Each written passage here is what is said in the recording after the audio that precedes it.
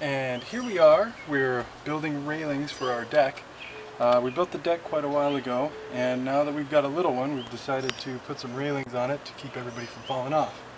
Uh, basically, it is a 4x4 post that is bolted into the side of the deck with a 5 8 inch bolt and a couple stainless steel screws.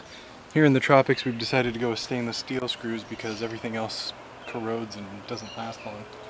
Uh, there's a 4 by 2 by 4 rail on top and bottom screwed in to the 4 by 4 post and then on top we have a 2 by 6 uh, That's pretty much it.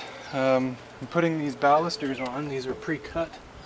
You can get these at Home Depot. They're um, just nice little 2x2s and it saves a lot of time to get them pre-cut. We painted them beforehand and then I'm just spacing them out with a 2x4 in between each one and just screwing it on the outside of this uh, 2x4s and go all the way around the porch.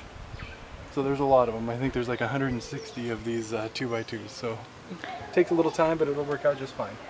I think the code on this is as long as the gap between here is 4 inches or less, it's to code so that nobody falls through.